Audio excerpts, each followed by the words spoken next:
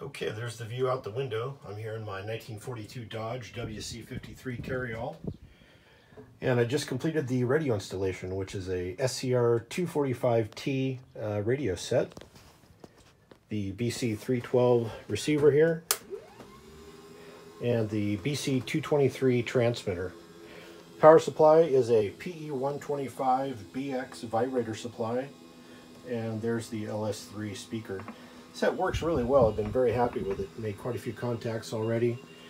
Uh, just running the 223 into the whip antenna with its 10 watts out, surprisingly, um, works very well. And uh, it works even better, of course, with a long wire or a dipole type antenna.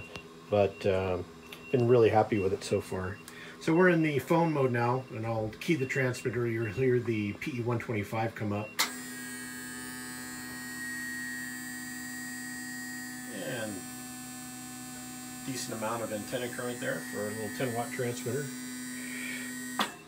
The surprising thing about the 223 is that because it's crystal controlled or master oscillator controlled, on the crystal it has almost a perfect CW note. So it really is um, unusual in terms of a lot of World War II transmitters. So here it is, the 245 in the WC53.